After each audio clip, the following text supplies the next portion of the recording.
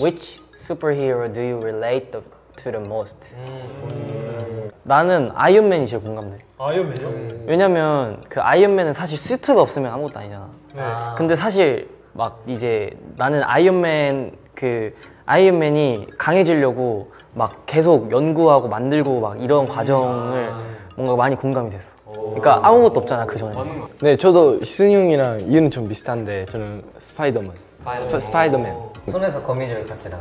뭔가 저도 스파이더맨 했는데 그거 왜냐면 스파이더맨은 그 약간 컨, 그 컨셉상 약간 teenage들 약간 그러니까 어린 그런 느낌이라서 우리도 좀 우리 때 우리 나이 때랑 좀 비슷해가지고 저는 배트맨.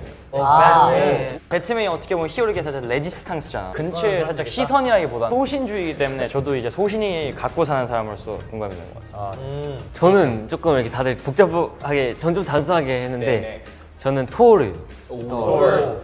배우가 호주 사람이에요.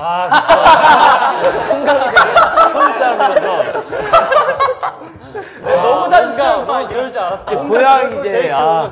뭐 공감이 돼요 아 이건 어쩔 수 없다 뭔가 connect가 되어 있어요 이게 저는 캡틴 아메리카를 했어요. 왜냐면 나도 되고 싶다 이런 느낌을 많이. 외모적으로는 베이맥스랑 좀 닮아요. 저는 그럼 캡틴 아메리카로 제이크 형이 추천해준 캡틴 아메리카로 하겠습니다. 저 캡틴이니까 우리 캡틴 아, 캡틴 아메리카 말고 캡틴 코리아로 하겠습니다. 그럼 캡틴 코리아